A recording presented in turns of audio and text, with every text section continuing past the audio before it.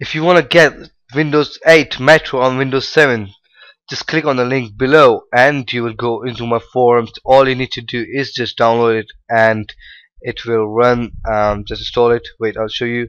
This is how what Windows 8 uh, transformation pack looks like. You can use um, you know you can use the Metro UI in for Windows 7 as well.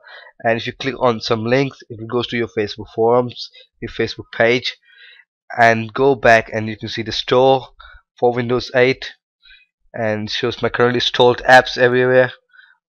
And you can see videos um, my desktop my pictures and everything and all my uh, all my things on my computer. You can see clearly.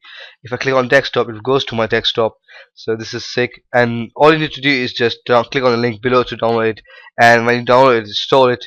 When you when you are while you're installing uh, Windows 8 setup it will show you um, four normal uh, menus such as system files information just click enable with repair checking recommended then use the COGUI then use impressive UI use Metro UI desktop and this then just click install and just restart your PC that's it for now guys. I'll see you in my next video. Take care. Bye bye